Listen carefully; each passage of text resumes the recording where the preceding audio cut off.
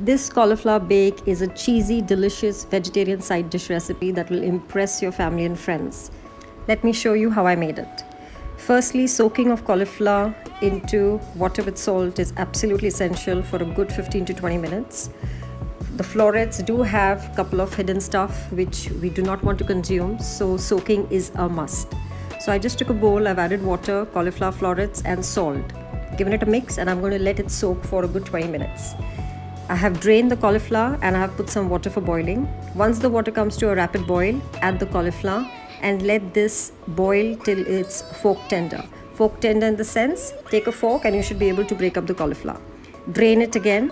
This is a baking dish in which I'm going to be presenting the final dish. So just put your boiled cauliflower in it and keep it aside. Now in the same pot, I'm going to make a white sauce.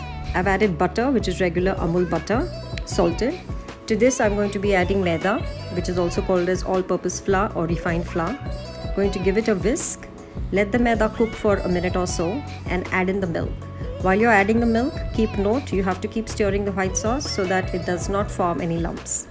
Now we are going to bring this to a boil and you will realize the final product of the white sauce should be able to coat the back of your spoon. That is a sign that the white sauce is cooked and the consistency is right. Here I have added salt, pepper and oregano for some extra flavors. Go easy on the salt because we are going to be adding cheese later as well. Now this is the thickness which we need and it coats the back of the spoon. Now I'm pouring the entire white sauce in that baking dish all over the cauliflower and of course on top goes lots and lots of cheese.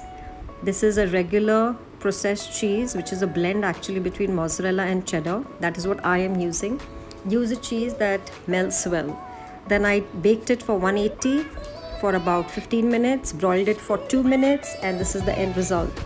Absolutely easy to make and a perfect side dish to serve for a crowd. This cheesy cauliflower bake recipe will sure to wow all your guests and family. Everyone is going to want to go for seconds and a great way to have your kids eating more vegetables. Lots of options. You can do cauliflower broccoli, you could do cauliflower potato, you could add some chicken bits, you could add some bacon bits. Give it a try and happy baking.